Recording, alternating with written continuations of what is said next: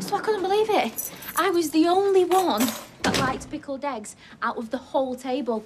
And they're acting like I was the weirdo. Who's they? Oh, just some guys in the crew. We had lunch together. Was Isla there? I'm not sure. I think so. Not sure. Really? What are you asking me? What exactly is going on with us these days?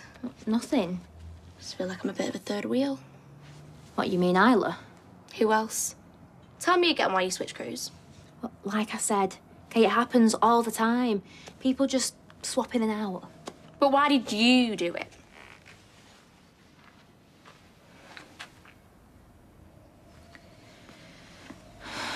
Promise me that you won't get mad. Tell me.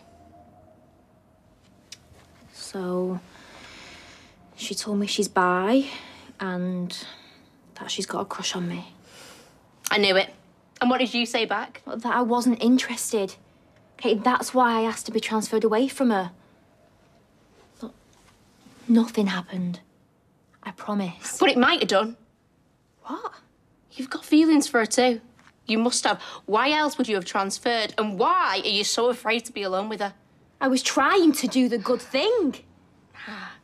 You just don't trust yourself being around her, do you? Tell me, if me and you weren't together, you'd be all over her, wouldn't you?